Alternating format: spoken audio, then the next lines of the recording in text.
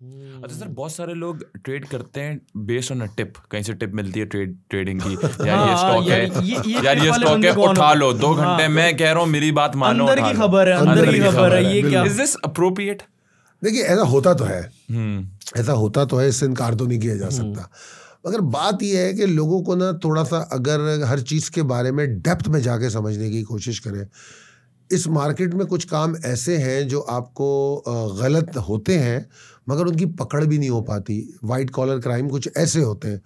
अच्छा और जितने भी दुनिया भर के सिर्फ़ पाकिस्तान की बात नहीं कर रहा दुनिया भर के सिक्योरिटी एंड एक्सचेंज कमीशन जो होते हैं वो कुछ चीज़ों को इग्नोर भी करना पड़ता है। हम्म, क्योंकि ये होता है।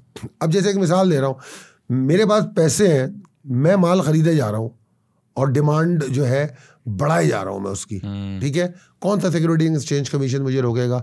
मेरे पैसे मैं खरीद रहा हूँ। हम्म, नहीं रोका जा सकता। ठीक है ना? अब मेरे जहन में क्या चल रहा है कि मैं पंप एंड डंप कर दूँगा मैं कोई ऐसा काम कर दूँगा। ठीक है? तो ये चल रहा है। अब रही बात आपके सवाल पे आता हूँ टिप की। यस अभी जिस तरह मैंने मिसाल दी कि अगर वो इंडिकेटर कमा के देता है तो भाई वो इंडिकेटर वो आपको क्यों दे रहा है? ऐप पे। खुद कर लेना। तो अब एक टिप आती है खालिद साहब की। कि खालिद साहब कह रहे हैं कि यार मैं कह रहा हूँ एक घंटे में ये ले लो बस ये ले लो।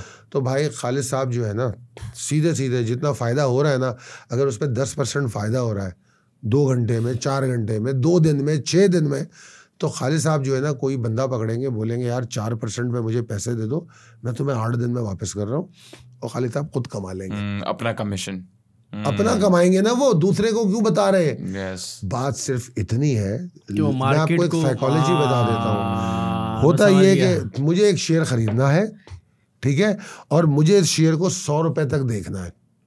तो मैं क्या करता हूँ खामोशी से पचास साठ रुपए तक बाइंग करता रहता हूँ। वो मेरी रियल बाइंग है। हम्म, पचास साठ के बाद ना मैं आपको बता देता हूँ आप।